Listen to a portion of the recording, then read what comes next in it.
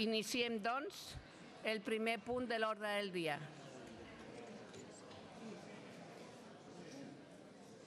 Tenim algun problema de megafonia. Tenim algun problema. Espero que es vagi resolent durant el ple. La pregunta número 2 és sobre el compliment dels compromisos pressupostaris en l'àmbit de la salut. La formula la il·lustre senyora Eva Garcia en nom del grup parlamentari del Partit Popular de Catalunya. Gràcies, senyora presidenta. Senyor conseller de Salut, el govern de Convergència i Unió ha, ha decidit deixar de pagar farmàcies, hospitals concertats i entitats socials fins que Catalunya sigui independent. Aquestes van ser les paraules del portaveu Francesc Homs quan reconeixia que la Generalitat només serà capaç de pagar el dia quan Catalunya sigui independent, senyor conseller. Què en pensa vostè d'aquesta nova ximpleria del senyor Homs?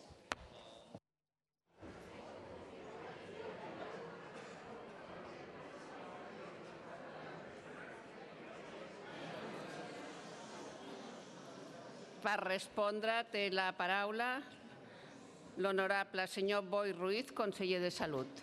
Gràcies, eh, presidenta. Miri, jo crec que és prou seriós el pressupost de salut d'aquest país i l'atenció als ciutadans quan estan malalts, que sí que no hem de fer ximpleries. Gràcies. Té la paraula per repreguntar la il·lustre senyora diputada. Senyor conseller, les prioritats d'aquest govern no són fer front als deutes amb el món sanitari. Ho acaba de demostrar també vostè ara amb la seva resposta. Els farmacèutics, per exemple, ja no poden més. Vostès els van prometre un pla de pagaments i l'estan incomplint. Com ja han anunciat aquest mes de març, tampoc els pagaran la factura corresponent al mes de gener i acumularan un deute de 340 milions d'euros. I això és insostenible per a aquestes petites i mitjanes empreses i autònoms que són les farmàcies. Moltes famílies de farmacèutics s'han arruïnat per culpa de vostès. Vostès tampoc no paguen el transport sanitari ni els hospitals concertats i s'escuden en el suposat retard del fons de liquiditat autonòmica per no pagar. Però, senyor conseller, ningú els ha obligat a acollir-se al FLA. De fet, ho fan perquè ningú més els presta els diners, perquè ningú es fia de vostès, perquè ningú vol saber res d'un govern irresponsable i morós. Senyor conseller, el govern d'Espanya financia Catalunya, els presta diners a un interès zero i mentre vostès reneguen d'Espanya, paren la mà per veure què poden treure que tothom sàpiga que el govern espanyol ha posat a disposició de Catalunya aquest any un total de 10.200 milions d'euros procedents dels 8.300 del Fons de Liquiditat Autonòmica. Des del govern espanyol s'ha fet el que s'havia de fer per complir amb l'obligació de garantir els serveis públics catalans i estan pagant les factures que Convergència i Unió i Esquerra Republicana es neguen a pagar. Però, senyor conseller, aquesta excusa ja no cola, i no cola perquè les ambaixades, per exemple, continuen impecables. Per això sí que tenen diners. Noves ambaixades, nova hisenda catalana, nova Constitució catalana, segueixen destinant recursos a les il·legals, inconstitucionals i antiestatutàries estructures d'estat que abans de néixer ja són mortes. I ho són perquè el Partit Popular ho va denunciar i no altres. S'ha de tenir molta barra, senyor conseller. Ahir el conseller Homs deia una nova ximpleria llibre negre, on espero que escriguin també els deutes que tenen amb el món sanitari. Però permeti'm que els escrigui jo el títol d'aquest llibre. No mosseguis la mà del que et dona de menjar. Apliquin-s'ho, senyors consellers. Per respondre té la paraula el honorable conseller Boi Ruiz. Conseller. Gràcies, eh, presidenta. Miri, eh, diputada, el govern de l'Estat no paga res, ho paguen els contribuents i a Catalunya paguem impostos. Per tant, ningú ens està financiant ni ens està donant res, eh? sinó en tot cas ens estan retraient alguns dels impostos que paguem i que haurien de quedar-se aquest país. Per altra banda, eh, miri, els primers que estan al costat de les farmàcies d'aquest país és el govern, és aquest conseller i al costat dels hospitals i centres concertats al nostre país. El primer que està al costat. Perquè, eh, miri, si vostès estan tan, tan al costat i els pateixen tant, jo simplement recordar-los que si haguessin fet la revisió de la cartera de serveis, Catalunya tindria 28 milions més. Si, haguessin fet, eh, si posessin el tractament de l'hepatitis en lloc de prestar els diners, Catalunya tindria 200 milions més. Si haguessin, fet, eh, eh, haguessin aportat els diners corresponents als nous medicaments i tractaments, tindrien 356 milions més Catalunya. Si eh, realment fossin sensibles a la modificació de l'IVA, Catalunya tindria 58 milions més per destinar a l'atenció sanitària.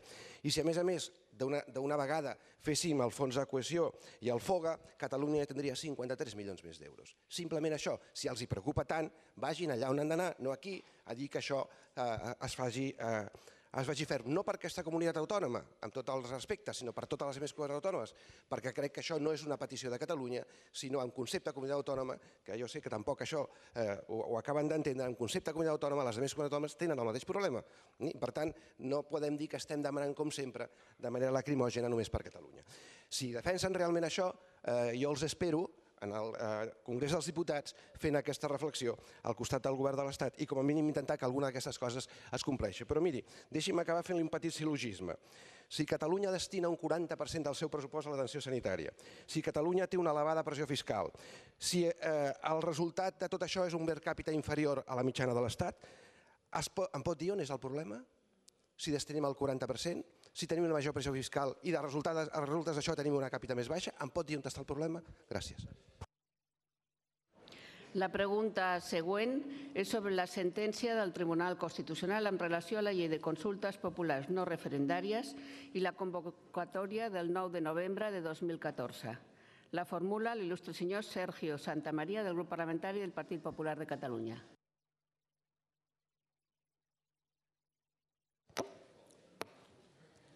Gracias, presidenta. Eh, señora Ortega, ¿qué valoración le merece la decisión del Tribunal Constitucional que anula la ley de consultas y el decreto de convocatoria del 9 de noviembre? Té la paraula per respondre l'honorable senyora Joana Ortega, vicepresidenta del Govern. Gràcies, presidenta. Bon dia, il·lustríssim diputat. Doncs miri, el govern respecta la sentència, com no podia ser d'altra manera, no la comparteix, crec que no li descobreixo res de nou, entre altres coses perquè s'ha forçat amb un tribunal a prendre una decisió política. Deixi'm dir-li quin és el parer de, del govern. Doncs es tracta, el Tribunal Constitucional tracta d'una manera absolutament restrictiva un dret fonamental que és el de la participació directa dels ciutadans i per tant en aquest sentit el que sembla és que esgrimeixen l'únic argument de que la Constitució aposta amb caràcter general per la democràcia participativa. Més que res, sembla una gran por a la democràcia. Per repreguntar té la paraula l'il·lustre senyor diputat. Sí. Eh, señora Ortega, la semana pasada el alto tribunal decidió de forma unánime declarar que el proceso de consulta diseñado por ustedes es nulo. Un Estado de Derecho como el nuestro impone a sus gobernantes cumplir las resoluciones de los tribunales. Es algo elemental.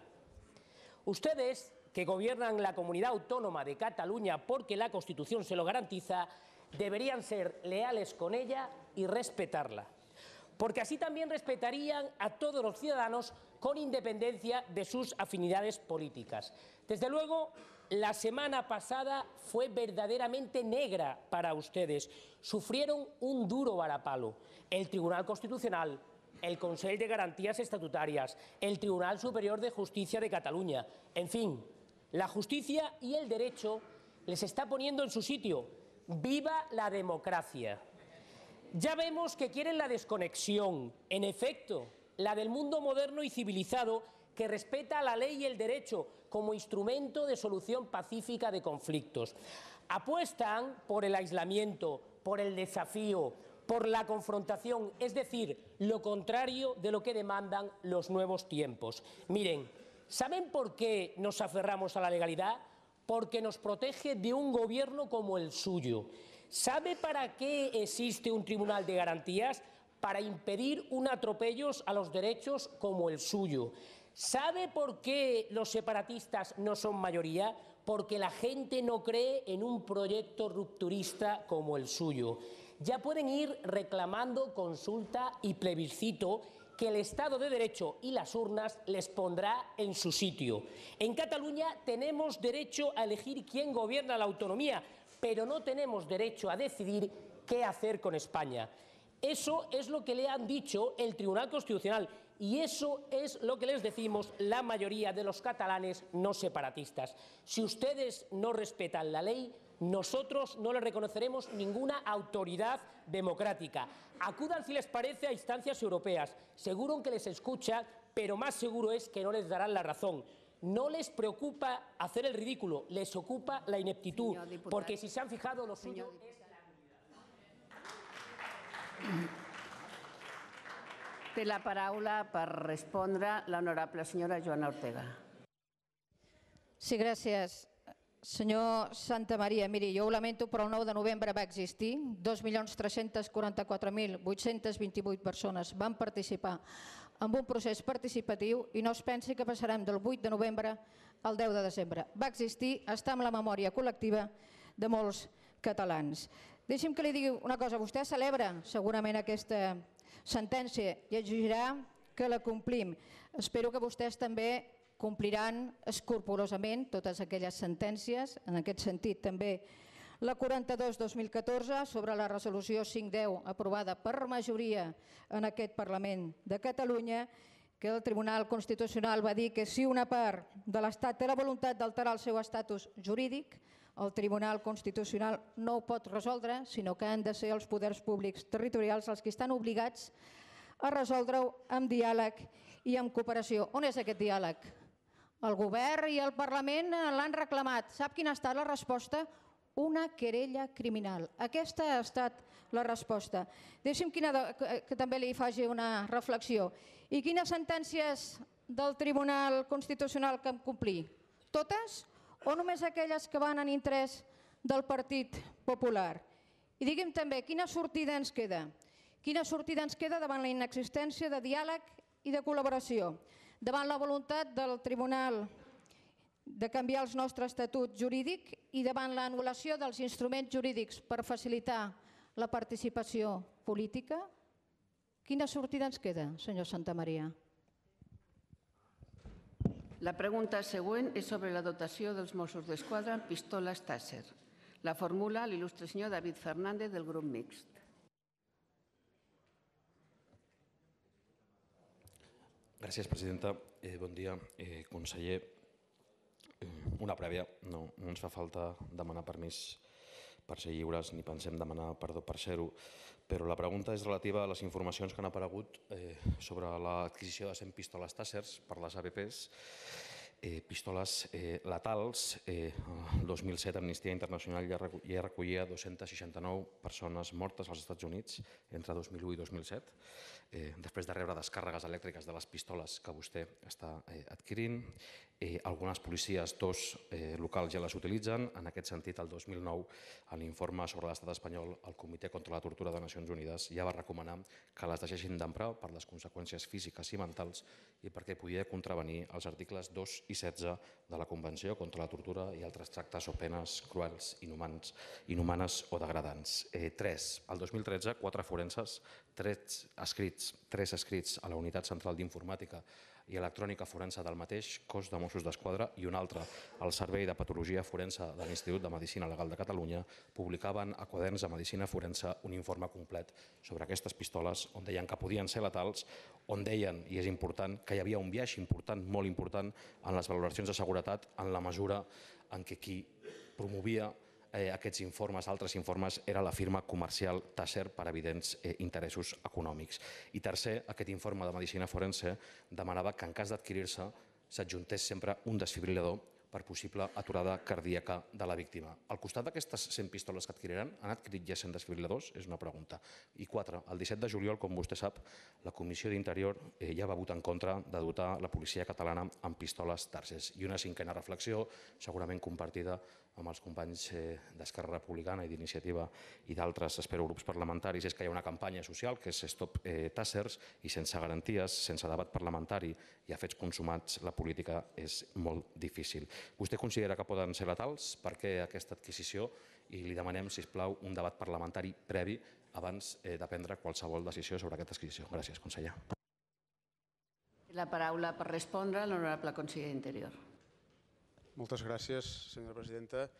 Senyor diputat, eh, li ben asseguro que la decisió sobre incorporar les anomenades pistoles Tasser eh, elèctriques per entendre'ns, és una decisió perfectament meditada i reflexionada. I li ben asseguro que en cap cas respon eh, a la improvisació, no, no és el cas, tampoc respon per bé que existeix a una demanda transversal per part de tots els sindicats del cos de policia, ni tampoc tampoc respon al fet doncs, que les policies del nostre entorn, i no li faré la relació exhaustiva del Regne Unit, de França, d'Alemanya, d'Àustria, de Dinamarca, de Suècia, del nostre entorn estatal, tant la Guàrdia Civil com el Cos Nacional de Policia, o com una vintena llarga de policies locals de, del nostre país, doncs ja, ja la disposen. No?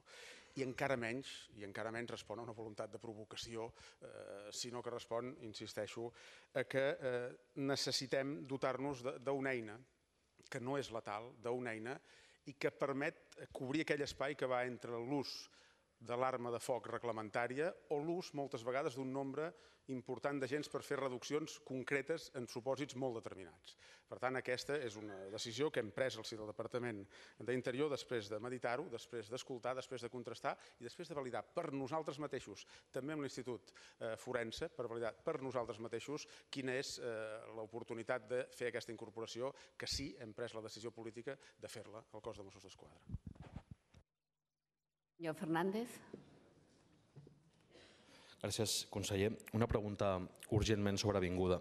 Eh, ens podria confirmar o desmentir que agents de la Divisió d'Informació del cos de Mossos d'Esquadra han visitat els departaments de recursos humans de les empreses del Mobile World Congress, definint quins treballadors són aptes i no aptes eh, per treballar al Congrés del Mòbil? I si és així, perquè té difícil desmentir-m'ho, molt difícil a la llum de les proves, sota quins criteris i amb quina finalitat de llista negra ideològica. Gràcies. Té la paraula per respondre l'honorable conseller d'Interior. Li deia que la decisió sobre la incorporació és una decisió perfectament meditada i que s'adiu amb quins són eh, els criteris de congruència, oportunitat i proporcionalitat. En aquesta mateixa cambra hem discutit amb vostè i amb altres diputats l'oportunitat, la congruència de determinades atencions que tots tenim a la retina en les que s'ha hagut d'utilitzar doncs, més un nombre important d'agents. La TASER omple aquest espai entre l'ús de l'arma reglamentària o l'ús d'un nombre important d'agents.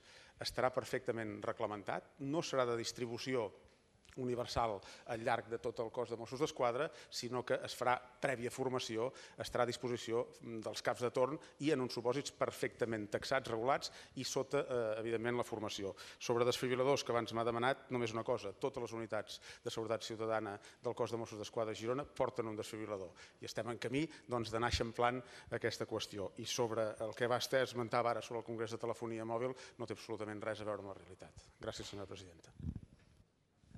La pregunta següent és sobre la garantia de la independència del Poder Judicial. La formula la il·lustre senyora Gemma Calvet, del grup parlamentari d'Esquerra Republicana de Catalunya. Gràcies, presidenta. Conseller de Justícia. Deia Plató, si jo fos legislador obligaria tots els escriptors i a tots els ciutadans a expressar-se en el sentit d'afirmar que no hi ha aspiració al benestar de la humanitat sense justícia. Aquests darrers dies i precisament en la defensa del magistrat Santiago Vidal davant la sanció del Consejo General del Poder Judicial ha estat ampli el clam de la nostra comunitat entorn a la defensa d'una justícia independent, lliure i capaç de fer front a les embestides que les ingerències polítiques de caire repressiu la fan trontollar.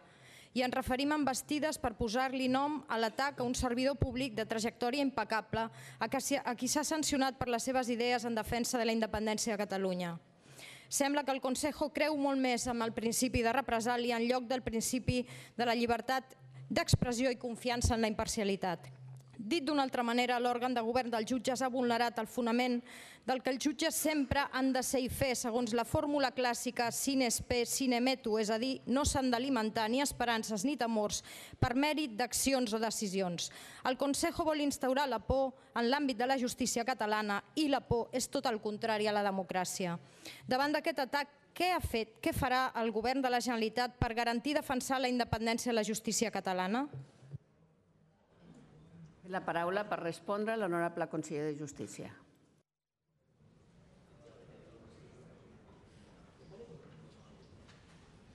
Gràcies, senyora presidenta, eh, president, membres del govern, senyores i senyors diputats. Senyora diputada, què ha fet el departament? Què ha fet el govern? En primer lloc, doncs nosaltres hem defensat el jutge Vidal d'un atac que creiem del Consell General del Poder Judicial, basat bàsicament en dos principis. Un, que creiem que s'ha atacat doncs, el dret que té qualsevol jutge a no ser violentat des del punt de vista de la independència judicial i després també el principi que nosaltres creiem que és bàsic en qualsevol societat democràtica, que és el de la llibertat d'expressió. Nosaltres hem fet declaracions, ho he fet jo com a conseller, ho ha fet el govern a través del seu portaveu des d'aquest punt de vista. Per tant, clarament una defensa d'aquests dos principis i una defensa de les actuacions del jutge Vidal. Què més podem fer nosaltres? Posar-nos a disposició d'aquells jutges, d'aquells magistrats que sentin doncs, d'alguna manera atacats en aquesta independència judicial. Nosaltres ens hem posat a la seva disposició. Vostè sap perfectament que qui li toca garantir el principi de la independència judicial és justament el Consell General del Poder Judicial. I malauradament en aquest cas doncs, l'atac ve d'aquest mateix òrgan, d'aquell que ha de vetllar per la independència judicial. El jutge de Vidal ara té altres camins, té recursos a formular, recursos a realitzar. Nosaltres no podem fer cap altra cosa que posar-nos a la seva disposició si el podem ajudar en algun sentit des d'aquest punt de vista, des del punt de vista de la tutela de la independència judicial. Per repreguntar, té la paraula la il·lustre senyora diputada. Gràcies, conseller. Però la divisió de poders i la garantia dels drets fonamentals, els dos elements identificatius per l'article 16 de la Declaració dels Drets de l'Home i del Ciutadà de 1789, conformen el nucli essencial de la justícia. Deia Pierre Vilar que l'Espanya de les autonomies és ja més un artifici que un edifici i aquest esdeveniment, juntament amb la sentència del Tribunal Constitucional contra l'Estatut que va absolutament avortar el model de justícia catalana, ho són un exemple. És evident, estem patint una ofensiva, però també tenim capacitat i obligació de reaccionar. Per això creiem que Catalunya ha de tenir un projecte clar i definit per la seva justícia, per la nostra justícia, si volem convèncer per la nostra independència com a país. I és important transmetre aquesta certesa a través d'instruments propis que som capaços de generar. Quan crearà el Consell de la Justícia Catalana en el en el marc estatutari, com dues mocions d'aquest ple del Parlament eh, han establert. Com generarem aquest guany, aquesta certesa de justícia, aquesta confiança de la ciutadania sense un model propi que pugui confiar i que pugui, sobretot, convèncer a professionals i a ciutadans. No hem de fer ingerència en col·legis professionals, però hem de convèncer que tenim... Té la paraula per respondre a l'honorable conseller de Justícia. Sí, gràcies, eh, presidenta. Senyora Calvet, hi ha una resolució, una resolució que va aprovar el Parlament de Catalunya en el sentit de que el Departament de Justícia comencés a fer treballs per tal de la constitució d'un Consell de Justícia de Catalunya. Nosaltres estem treballant en aquest sentit. Li puc dir, ja li puc avançar, que forma part d'aquests treballs que justament qualsevol atac, qualsevol atac a la independència judicial que pugui sofrir qual, patir perdó, qualsevol jutge, qualsevol magistrat, podran ser portats en, aquell, en aquest Consell de Justícia de Catalunya. Nosaltres estem en fase d'elaboració, creiem que és una elaboració bastant dificultosa atenent el marc normatiu actual, atenent també la sentència del Tribunal Constitucional, però en qualsevol cas nosaltres no ens donem per vençuts i creiem que podrem portar un bon projecte de Consell de Justícia de Catalunya. La pregunta següent és sobre els greuges que pateix l'esport català. La formula l'il·lustríssim senyor Albert Donés del grup parlamentari d'Esquerra Republicana de Catalunya. Bon dia, conseller. En els darrers temps, el teixit esportiu del nostre país està veient com a motiu de tot un seguit de greuges i perjudicis, el futur del nostre esport es veu clarament amenaçat.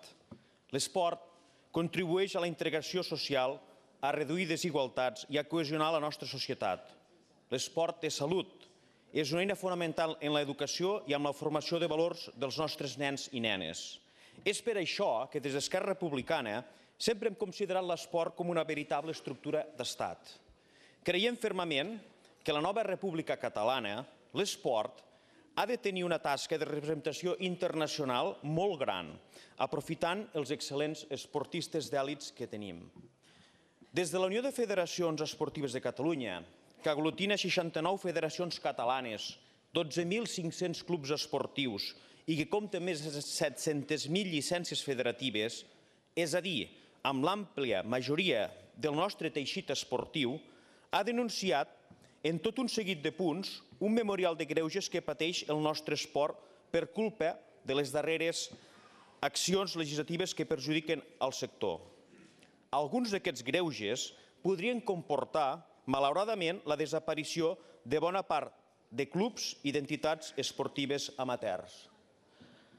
Durant aquesta legislatura, molts dels problemes que s'hi fan menció han estat debatuts per part dels grups d'aquesta cambra, però veiem com estem en molts casos igual de com estàvem. Som conscients que alguns d'ells provenen de la ingerència o invasió de competències per part de l'estat espanyol, però també hi ha alguns que són responsabilitat nostra, és a dir, del govern de Catalunya.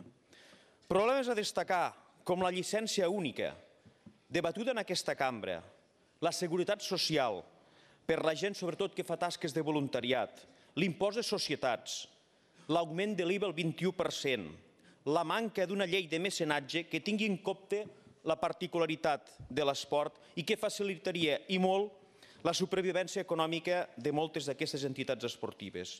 Tots aquests greuges no fan més que posar en perill l'excel·lent nivell de qualitat esportiva que gaudim al nostre país. És per això que des d'Esquerra Republicana voldríem el cessament d'aquestes accions intervencionistes i recentralitzadores per part de l'estat espanyol i que s'impulsin les modificacions legislatives oportunes i necessàries. Té la paraula per respondre l'honorable senyor Francesc Oms, conseller de la Presidència. Gràcies, senyora presidenta. Senyor diputat, jo comparteixo abastament el diagnòstic que vostè feia en l'exposició de la seva pregunta en el sentit de, primer, de la importància de l'esport i del món de l'esport en el nostre país, en la capacitat que té també el món de l'esport d'explicar-nos a nosaltres mateixos i d'explicar-se arreu del món, i òbviament també eh, des del punt de vista de, de les circumstàncies que en aquests moments eh, fan eh, i conviuen eh, doncs d'una manera dificultosa i creixentment dificultosa en el món de l'esport com a conseqüència d'un conjunt de decisions que s'han anat prenent en aquests darrers temps, bàsicament o exclusivament per part del govern espanyol. Vostè em feia ara aquí una, una referència que jo tinc plenament identificada, que n'estem parlant contínuament amb, amb el sector, que s'ha debatut, com vostè recordava, en aquest mateix Parlament de Catalunya, no?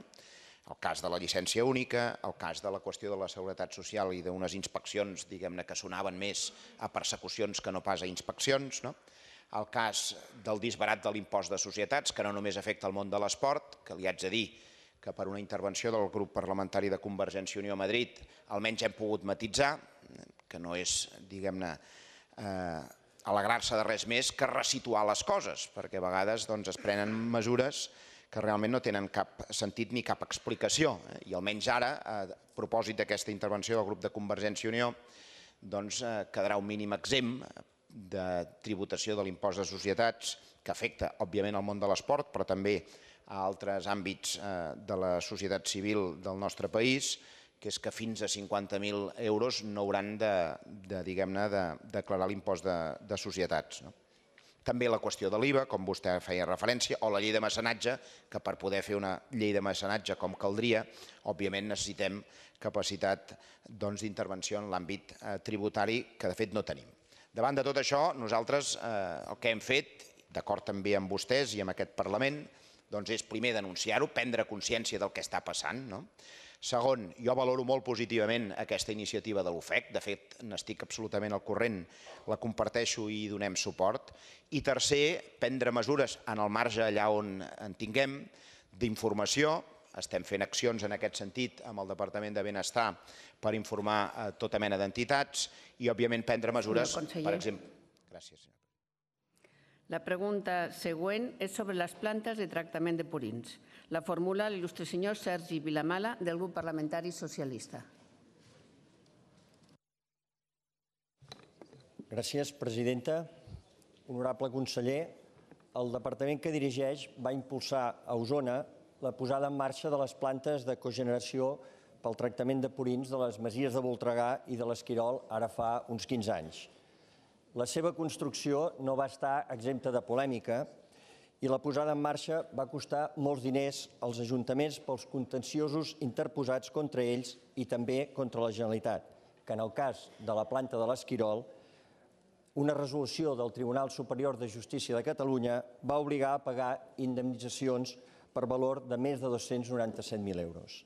Des de fa gairebé un any, les plantes de cogeneració estan tancades i el seu departament, a diferència de quan van obrir-se, se n'ha desentès en el seu tancament i no ha donat directament explicacions als ajuntaments per determinar quina ha de ser la viabilitat d'aquestes plantes. I ho explico amb coneixement de causa com a alcalde de les Masies d'Ultregà. Pensa el seu departament adreçar-se als ajuntaments per buscar solucions a les plantes i, si no en tenen, acompanyar-los en el procés de desmantellament per part de les empreses gestores? I pensa el seu departament comunicar als ajuntaments a quin sistema d'eliminació de, de purins s'han adherit les explotacions ramaderes que justificaven l'eliminació amb les plantes? Per respondre té la paraula l'honorable senyor Josep Maria Pellegrí, conseller d'Agricultura, Ramaderia, Pesca, Alimentació i Medi Natural. Moltes gràcies, senyora presidenta. Senyor diputat, eh, vostè crec que no pot parlar en nom de totes les plantes ni tampoc de tots els ajuntaments afectats en aquest cas, perquè nosaltres estem fent en aquest moment totes les gestions oportunes i necessàries amb el sector, amb les indústries i també amb ajuntaments per poder resoldre aquest problema que ens han plantejat.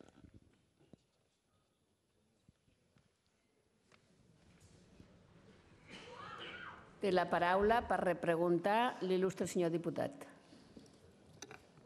Miri, conseller, no sé amb quins ajuntaments deu parlar, perquè amb el, amb el de les Masies de Voltregà no hi han parlat mai.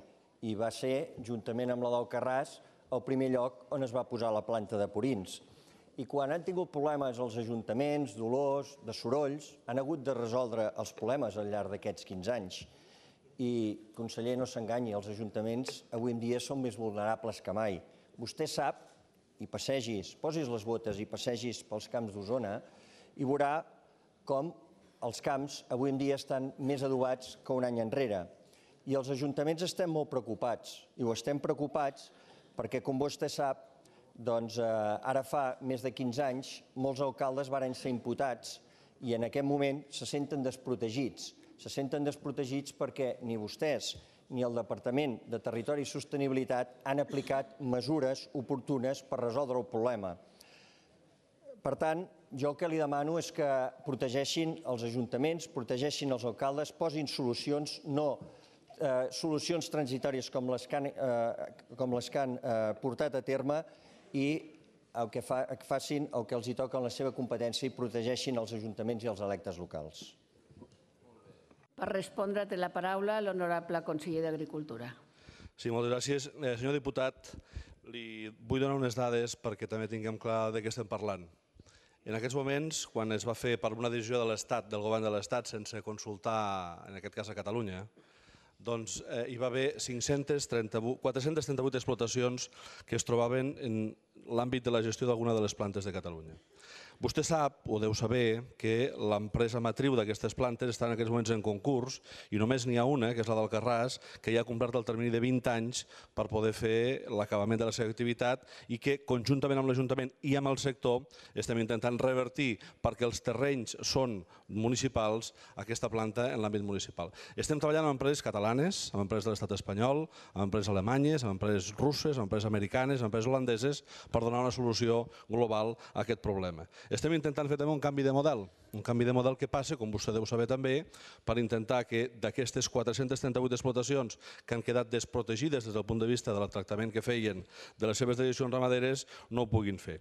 El canvi de model passa per tres àmbits bàsicament. Primer, el canvi en la dieta dels animals. Aquest canvi de dieta ens exclou d'aquestes 438 128 explotacions. Una segona aportació és la instal·lació de tractament de separació sòlid líquid de les explotacions que ens treu d'aquest sistema de tractament també 173 empreses més i ens quedarien 137 empreses que són les que s'han de fer a través de sistemes mancomunats de gestió. I que és aquí on, d'acord amb el departament, d'acord amb el sector, perquè no oblidi una cosa també, nosaltres el que estem fent és intentar que el sector pugui tractar adequadament les, exportacions, les decisions ramaderes que produeixen. És per això també que el, el Departament d'Agricultura, conjuntament amb altres departaments del Govern de la Generalitat, està treballant i aplicat el Pla Estratègic de Fertilització Agrària i Gestió de dels Ramaderes de Catalunya 2013-2016, que és el que contempla les solucions i que contemplarà també la solució per cadascuna de les plantes amb el sector, amb les empreses i amb els ajuntaments per fer possible el que vostè diu, que compartim suposo que és la voluntat d'intentar gestionar correctament les decisions ramaderes, que és la competència que em pertoca en aquest departament. Moltes gràcies. La pregunta següent és sobre les obres de manteniment de les escoles. La formula la il·lustríssima senyora Núria Parlon del grup parlamentari socialista. Sí, gràcies, presidenta. Molt bon dia a tothom. Tornem a parlar dels problemes del, del món local i en aquest cas centraré la meva pregunta en el manteniment de les escoles públiques a Santa Coloma de Gramenet i centraré també la meva intervenció en un concepte que és la corresponsabilitat. En el curs 2010-2011, l'Ajuntament de Santa Coloma de Gramenet va invertir en 21, 21 escoles públiques, incloses les escoles d'adults, un total de 8 milions d'euros. I vostès es preguntaran, 8 milions d'euros en què s'ha gastat l'Ajuntament de Santa Coloma en el manteniment de les seves escoles?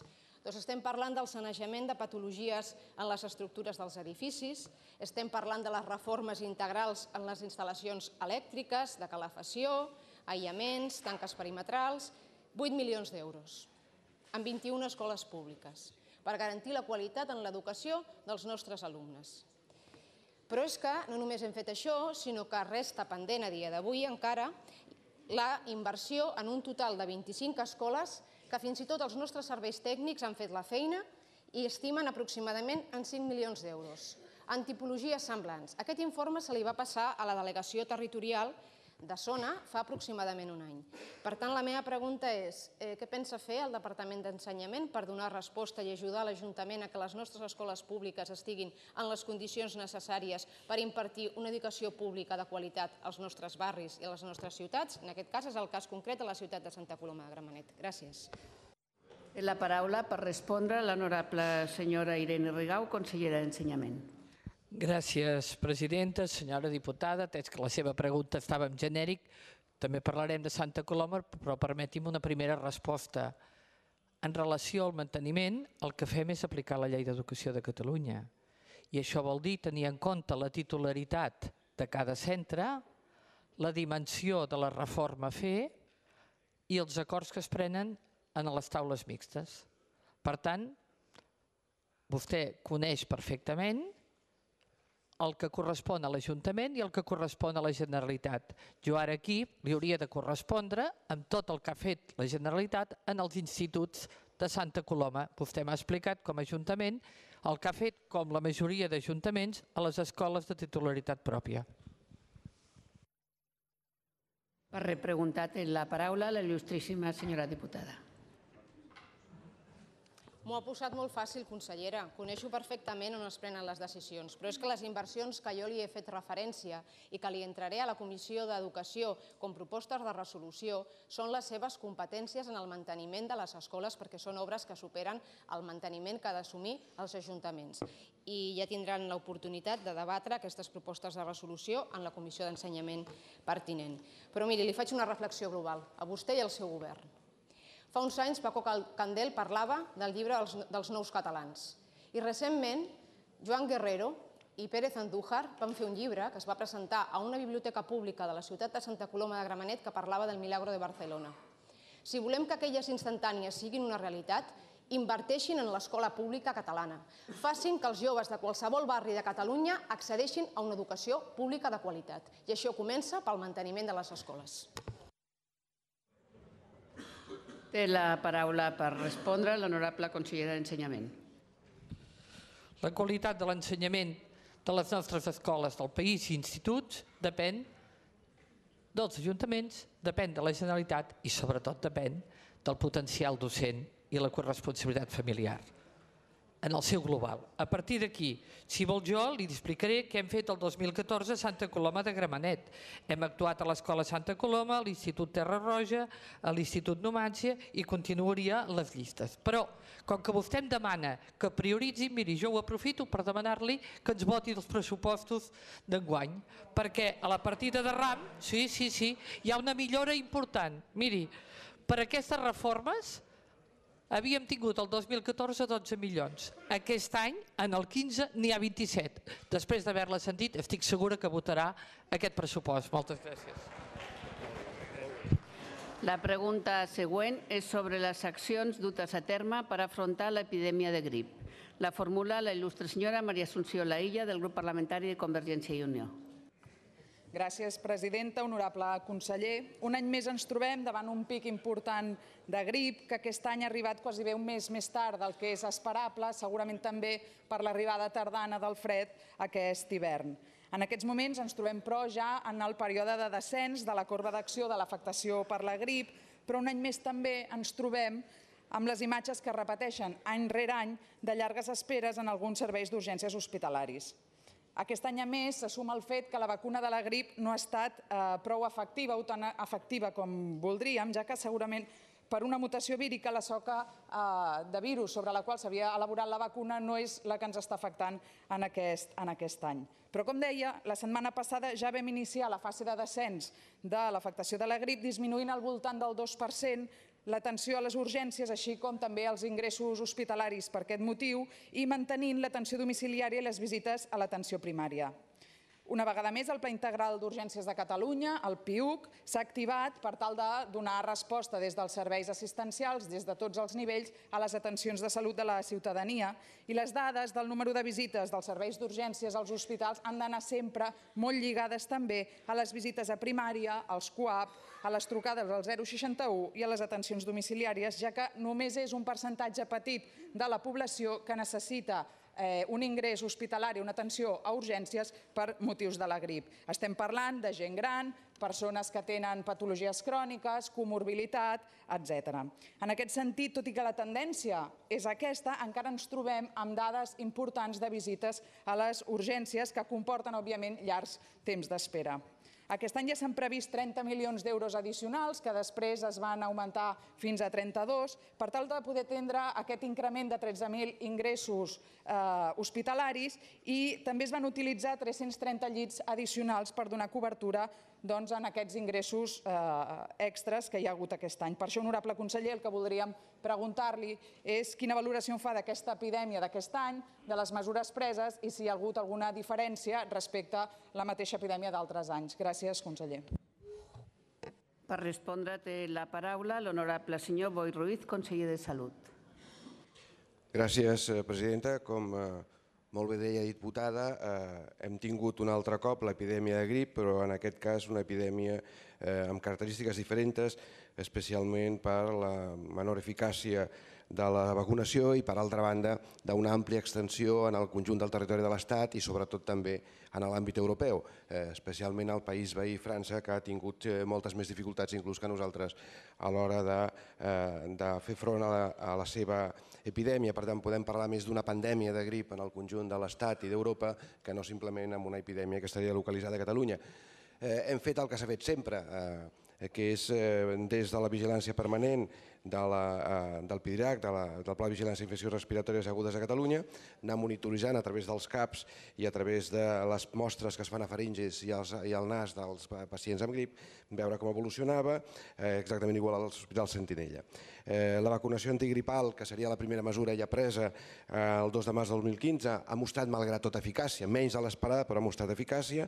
Tenim que dir que hem vacunat a 1.058.903 persones. Podem dir que la, la tassa de vacunació de les majors de 65 anys eh, és adequada.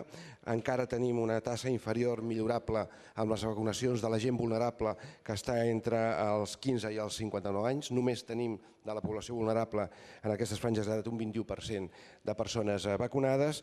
I eh, sí que tenim que destacar, i aprofitant eh, la, eh, el que ahir va, eh, va posar-se en marxa al Congrés de, en, el, en el Mobile Congress, al Congrés de, de Mobilitat i Tecnologies aplicades a Salut, la importància que ha tingut eh, eh, enguany el paper del 061 i el paper de l'APP i la resposta del 061 que Salut respon amb disponibilitat de la història clínica dels pacients. Dit això, eh, l'epidèmia de grip ha obligat a prioritzar recursos, òbviament, i com vostè deia molt bé, l'epidèmia de grip ens ha costat, en termes eh, objectius, una aportació de 31 milions d'euros eh, per resoldre aquesta qüestió. Per tant, eh, a l'hora de desplaçar recursos hem tingut que fer aquest esforç. I deixi'm que eh, no, no, no oblidi en cap moment el que, eh, la resposta que han donat els nostres professionals als àmbits dels de, centres d'atenció primària, eh, als àmbits dels centres d'urgència d'atenció primària, als àmbits dels serveis d'urgència dels hospitals i hospitalització, malgrat eh, la saturació que en molts moments han tingut els serveis, ha estat excepcional i de eh, molt bon resultat. I Senyor si, conseller. eh, La pregunta següent és sobre la gestió dels parcs naturals. La formula l'il·lustre senyor Xavier Dilmé del grup parlamentari de Convergència i Unió. Gràcies, presidenta. Honorable conseller. Catalunya disposa d'un nombre important d'espais naturals de protecció especial i d'espais d'interès natural. Parlem de quasi un milió d'hectàrees. Després de molts anys de funcionament d'aquests espais, pensem que toca analitzar el que ha funcionat i el que es pot millorar. El nostre grup considera que una de les coses clarament a millorar és l'encaix d'aquestes figures de conservació amb les dinàmiques locals, amb el territori. Un espai d'aquest tipus s'ha de poder veure com un valor afegit, sempre, i mai com una eina que dificulti el dia a dia de la gent que hi viu. Cal gestionar des d'una visió molt transversal de l'espai natural, pensar en preservar, estem d'acord, però també en l'agricultura, en la pagesia, en el turisme, etc. La gent ha de continuar vivint en aquests espais, igual com ho ha fet durant generacions, adaptant el que calgui, sí, millorant pràctiques, sí, però ha de poder continuar vivint. De fet, no em canso de recordar que si vull alguna cosa conservar, si hi ha recs, si hi ha aiguamolls, espais de pastura i un llarg, etc, és perquè algú se n'ha cuidat, perquè la persona que hi viu i en viu ha estat la primera interessada en preservar el seu entorn. Cal, per tant, canviar el xip. Els parcs han de tenir un model de gestió més àgil i eficaç, més modern. Han d'entendre i apostar, per exemple, per l'activitat agrària i ramadera sostenibles com a element clau en la conservació del territori protegit i promocionar els productes que s'hi produeixen. O un altre exemple, ha d'apostar pel turisme, ja que és un pol d'atracció de visitants. Entenem que amb aquesta voluntat, els òrgans gestors del darrer parc natural creat a Catalunya, a l'Empordà, el del Montgrí, les Medes i el Baix Ter, han suposat un canvi substancial de concepte i en ell la majoria d'actors formen part del territori. Aquest territori ha de participar i ser corresponsable de la gestió d'aquests espais. I quan parlem de territori ho fem en sentit, en sentit ampli. Parlem d'ajuntaments, però també dels diferents actors i sectors existents. Un espai natural no pot ser un espai dedicat només a la preservació i prou. S'ha de trobar l'equilibri entre aquesta preservació i el seu dinamisme. Recentment el govern ha aprovat el pla de gestió dels espais naturals de protecció especial.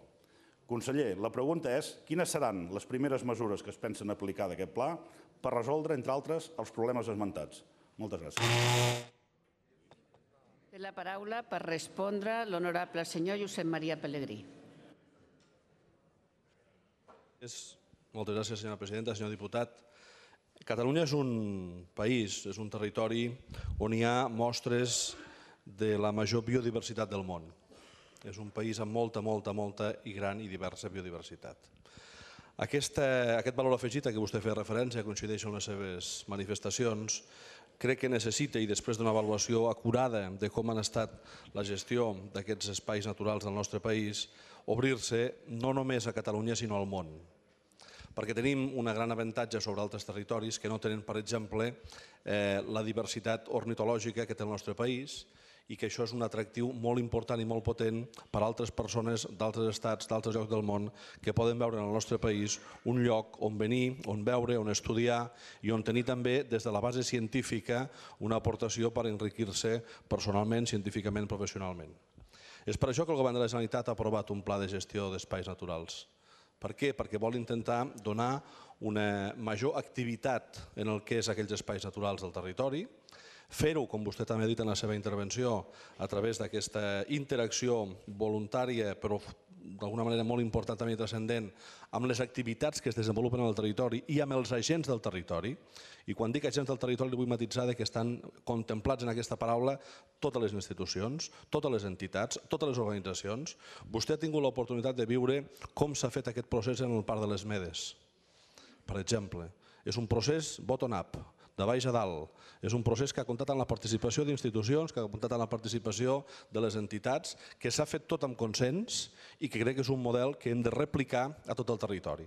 Aquest és el model del Pla de Gestió d'Espais Naturals que nosaltres hem aprovat en el govern i que vull deixar clar una cosa, no modifique aquest pla de gestió cap normativa ambiental de protecció, ni espanyola, òbviament, ni catalana, òbviament, sinó que el que vol fer és intentar donar una nova idea, una nova imatge del que és la gestió dels espais naturals, amb major competències de les persones responsables d'aquests espais, amb major amplitud de mires, amb major capacitat d'interacció en el territori i sobretot amb mires a la internacionalització, que també els espais naturals del nostre país, per aquesta gran riquesa, la gran biodiversitat, té la necessitat d'intentar eh, gestionar-ho d'una manera que preservem els espais naturals, que preservem la biodiversitat, però també que interactuem en el territori. La pregunta següent és sobre l'impost sobre les estades en establiments turístics. La formula l'il·lustre senyor Benet Maimí, del grup parlamentari de Convergència i Unió. Gràcies, senyora presidenta. Honorable conseller, les dades del turisme català l'any 2014 confirmen un cop més el paper estratègic que el sector turístic té a la nostra economia. El sector turístic és, sens dubte, un dels motors del creixement de l'economia del nostre país, juntament amb la indústria i la logística. A més, el sector turístic també té un paper determinant en la cohesió territorial de Catalunya i gràcies al turisme, el progrés i el dinamisme econòmic ha arribat a molts indrets del nostre país. A tall d'exemple, Catalunya rep, ha rebut aquest any 16,8 milions de turistes estrangers, un 7,2% més que l'any 2013, i ha generat uns ingressos de més de 15.000 milions d'euros durant aquest any 2014 i, un, i que són 866 milions més que l'any anterior, és a dir, un 6,1%. I una dada també important és que es genera entre un 12 i un 13% de l'ocupació. En aquest sentit, podríem dir que són dades molt significatives per valorar la importància que té el sector turístic. I també tenim uns actius, la nostra ubicació geogràfica, eh, la nostra diversitat de les costes, la riquesa del medi natural, la història, la cultura i la gastronomia, i la nostra manera de ser que ens caracteritza amb un caràcter molt hospitalitari i també tenim més de 50 anys acumulant experiència i know-how turístic. Tot això configura una molt bona base per l'activitat turística. Avui, conseller, per això cal parlar també sobre l'impost d'estades en establiments turístics, conegut per l'opinió pública com la taxa turística. Un impost que s'ha consolidat i que ha donat els seus fruits i que es va començar a aplicar l'1 de novembre de l'any 2012 a tot el territori català i en un principi es veia amb una certa reticència i avui està consolidat i acceptat i els ajuntaments s'han vist beneficiats per la participació directa en el fons. Malgrat doncs que el balanç és positiu, som coneixedors que s'han produït algunes propostes de modificació, sobretot pel que fa a la destinació en el seu tram municipal. És per aquest motiu, conseller, que li vull formular tres preguntes. Primer, quan s'ha recaptat de l'impost conegut com la taxa turística aquest any 2014? Segona, els ajuntaments reclamaven poder dedicar part d'aquest impost no sols a la promoció turística, i això ho han manifestat moltíssimes vegades aquí en diferents comissions del Parlament. El govern ha estudiat aquestes reclamacions? I en tercer lloc, Barcelona com a capital de Catalunya i marca turística líder rebrà alguna aportació extra per poder minimitzar aquests impactes no volguts d'aquest sector, malgrat li aporta tant econòmicament a la ciutat de Barcelona. Moltes gràcies, conseller. Per respondre té la paraula l'honorable senyor Felip Puig, conseller d'Empresa i Ocupació. Gràcies, presidenta i senyor diputat. Crec que reafirmar que el turisme és no només un epígraf estadístic molt important a la nostra economia, sinó que forma part del nostre projecte de país, que ens permet, evidentment, doncs, eh, generar ocupació, projectar-nos al món i al mateix temps també construir part de la nostra personalitat d'una manera eh, molt respectuosa amb la diversitat i amb el nostre gust per la, per la integració i per l'acollida. En aquest sentit, l'aposta per un turisme de qualitat, eh, responsable i compromès amb el medi ambient també, i en parlàvem ara amb una altra pregunta també d'un altre diputat, crec que és de les apostes per l'excel·lència i per la qualitat que hem de continuar mantenint de cara al futur. I hem de posar en evidència que tot això ho hem aconseguit també amb un bon clima de diàleg social, participatiu i de concertació. Eh, sector privat i administració i cada vegada més col·laboració entre administracions ens permeten parlar que tenim un bon ecosistema que està orientant molt clarament les polítiques amb una perspectiva de visió estratègica i al mateix temps també de planificació de mercat i, per tant, de creixement sostingut amb qualitat i amb ingressos. eh, una bona mostra d'aquesta concertació és precisament l'impost sobre les estades turístiques que s'ha posat en marxa des de fa tres anys i que ara hem aconseguit eh, un nivell de recaptació, contestant a la seva primera pregunta, de prop de 41 milions d'euros, un increment d'un 5% en relació a l'any anterior, i que després de dos anys de maduració i de desenvolupament, hem arribat a la conclusió, i així ho hem acordat amb algun altre grup, amb el grup d'Esquerra Republicana d'aquesta cambra, que eh, obrirem en els quatre supòsits que permet la llei de destinar aquests recursos captats a que el retorn del 30% que eh, gestionen els ajuntaments que també eh, tenen impacte turístic en el seu territori puguin destinar-los no només a promoció turística, sinó també a l'impuls del turisme sostenible, al foment i la creació i millora de productes turístics i al desenvolupament d'infraestructures relacionades amb el turisme. I sí, Barcelona tindrà un tracte especial, perquè Barcelona ja té una taxa i un impost especial. Barcelona té unes taxes i uns imposts diferents a la resta del territori i això és el que permet no només que tingui un retorn de prop del 34% de la recaptació del seu entorn, sinó que aquest any establirem una línia d'un conveni específic amb l'Ajuntament de Barcelona per poder-lo destinar a aquestes actuacions. I el que no farem aquest és el criteri del govern, és traslladar el 100% de la recaptació als ajuntaments ni destinar-lo a altres actuacions que no siguin les previstes a la llei. Passem ara a la primera pregunta al Govern sobre la línia del servei de trens de Rodalia entre l'Hospitalet de l'Infant i Tarragona. La formula la il·lustre senyora Hortència Grau del grup parlamentari d'Iniciativa Verds, Esquerra Unida i Alternativa. Presidenta, bueno, conseller, benvingut del Marroc, ja sabem que ha estat. Ens sap greu que no hagi tingut un moment per poder-se reunir també amb els representants de la República Àrab Saharaui Democràtica, un poble que també lluita pel seu dret a l'autodeterminació. Dit això, conseller, Eh, aquestes setmanes hem vist unes declaracions dels alcaldes de Salou i Cambrils, en Pere Granados i la Mercè Dalmau, amb dos alcaldes de Convergència i Unió, que demanen a Fomento arrencar, desmantellar les vies de tren un cop entri el servei al, al corredor el 2016. Eh, i, de pas que arrenquen les vies, suprimir les estacions urbanes d'Hospitalet de l'Infant, Montroig del Camp, Cambrils i Salou i deixar 670.000 usuaris que hi ha tot l'any sense servei.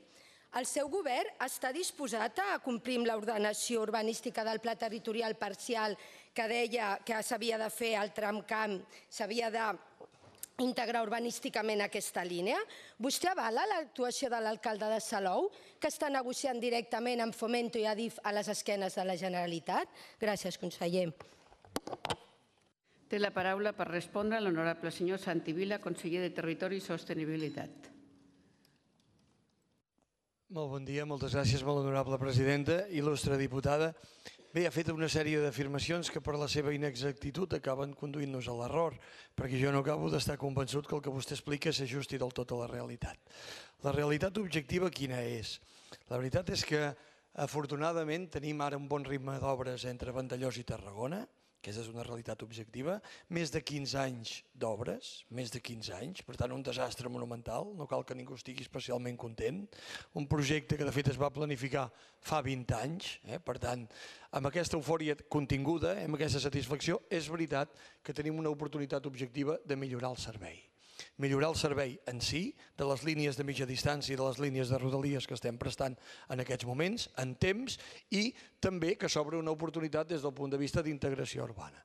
La posició del govern és coneguda i la planificació territorial i la planificació d'infraestructures del govern de Catalunya és coneguda i és explícita. A partir d'aquí, però, li ben asseguro que no farem res violentant la voluntat dels consistoris i, per tant, s'obre un període tranquil, serè, de reflexió perquè no es crema res. Aquesta línia ha de ser operativa eh, si compleixen amb els terminis fixats a partir del 2016. Per repreguntar té la paraula la il·lustre senyora diputada. Conseller, però miri, sap què passa? Vostè sap que si s'arranquen les vies no es farà el tramvia, perquè fer-lo després és molt més car, per molt que diguin que en aquest eix viari després es farà la plataforma, perquè la transformació del tramvia amb, amb, amb, del tren amb tramvia s'ha de fer progressivament, com s'ha fet a Cádiz o a Alacant, perquè estem parlant només de 4 quilòmetres urbans i perquè, a més, urbanitzar, com vol fer l'alcalde de Salou, fer l'eix viari, també té uns costos i afegir el cost de tramviaritzar només és un 25% més. Miri, la reforma de la Diagonal de Trias ha costat pressupostat 15 milions al quilòmetre. El tram baix, 20 milions al quilòmetre, incloent la gespa i 19 convois. Conseller, aposti clarament per les rodalies que són competència seva. Reclami el Ministeri de Foment la cessió d'aquestes vies per poder fer el trencamp, com ha fet la Generalitat Valenciana. A Tarragona no volem ser l'excepció, no volem ser la vergonya des de Cádiz fins a Barcelona, en la línia de costa, l'únic punt negre. Tarragona no volem, al Camp de Tarragona no volem tornar a perdre el tren, i ho dic en sentit literal. No volem ser l'excepció de Cádiz, Cartagena, Múrcia, Alacant, València, Castelló, que han apostat per la tramviarització. Perquè, a més, el tema de la seguretat, vostè sap que en pic entri en servei el corredor, ja no, ja no serà un problema perquè els trens d'alta velocitat aniran pel corredor. Gràcies, conseller. Té la paraula per respondre l'honorable senyor Santi Vilà. Insisteixo, a la vista del ritme amb què el Ministeri de Foment va fent aquestes obres, no cal que estiguem tan esbarats com mostren la seva intervenció. Ens hauríem de serenar una mica. Hi ha una planificació territorial, hi ha una planificació d'infraestructures. La posició del govern és coneguda. És coneguda i qualsevol dels projectes que fem en el quotidià ho encarnen. La setmana passada jo presentava un projecte molt interessant de tramviarització al municipi de Balaguer. Una inversió de 5 milions d'euros que fa possible la modernització, l'actualització d'un servei ferroviari i d'una aposta de transport públic en la direcció que vostès demanen. Ara li adverteixo d'una cosa, no farem res que violenti la voluntat municipal. I els ajuntaments amb nosaltres tancarem els acords que siguin necessaris, amb sensatesa, perquè aquest projecte, depèn de com es plantegi, pot tenir un pressupost i una inversió necessària de més de 600 milions d'euros.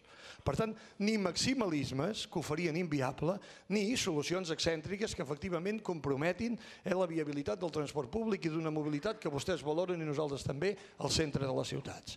Per tant, la posició del govern és coneguda, és explícita, està a la documentació i a la planificació aprovada. Però no em demani vostè que el govern de Catalunya violenti els ajuntaments perquè no estem disposats a fer-ho i volem incorporar arguments racionals que segur que seran valorats i al final permetran eh, la permanència del transport públic i d'aquesta mobilitat que a vostè tant li agrada. La darrera pregunta és sobre la gestió d'aigües Ter Llobregat. La formula l'il·lustre senyor Matías Alonso, del grup parlamentari de Ciutadans. Gràcies, presidenta. Honorable conseller, avui li pregunto per Aigües Ter Llobregat. Avui, que en aquest Parlament es tornen a sotmetre a aprovació els pressupostos de la Generalitat, li he de preguntar per un afer que té com a origen declarat, perquè s'autonomenava el govern dels millors, quadrar els comptes de 2012. És un afer que vostè ha heretat. Vostè és l'hereu del nyap del seu antecessor en la Conselleria de Territori i Sostenibilitat i del seu company de bancada, el conseller d'Economia i Coneixement. Encara no sabem les conseqüències que tindrà per la hisenda pública que gestiona la Generalitat. Encara no sabem quin serà el cost final pels catalans. La privatització que va fer el seu govern de la gestió d'aigües Ser Llobregat, el proveïdor d'aigua en alta que subministra aquest bé essencial a més de 5 milions de catalans, ha estat tot un despropòsit. Malgrat les reiterades sol·licituds de compareixença dels dos consellers responsables d'aquest despropòsit, encara és l'hora que no sabem, que no ens han explicat què ha passat amb aquest afer ni el que pot arribar a passar. Què ens ha de dir al respecte, conseller? Què passarà amb el litigi obert? Quins efectes tindrà mantenir hores d'ara l'adjudicació a Acciona tot i que l'organisme administratiu de recursos contractuals de Catalunya va concloure que la concessió era irregular. Té la paraula per respondre l'honorable senyor Santi Vilà.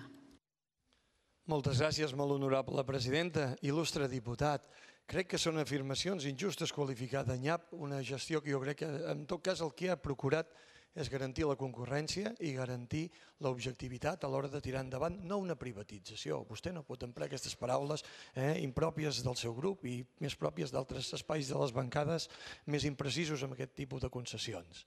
Estem parlant de l'externalització d'un servei, com vostè sap perfectament.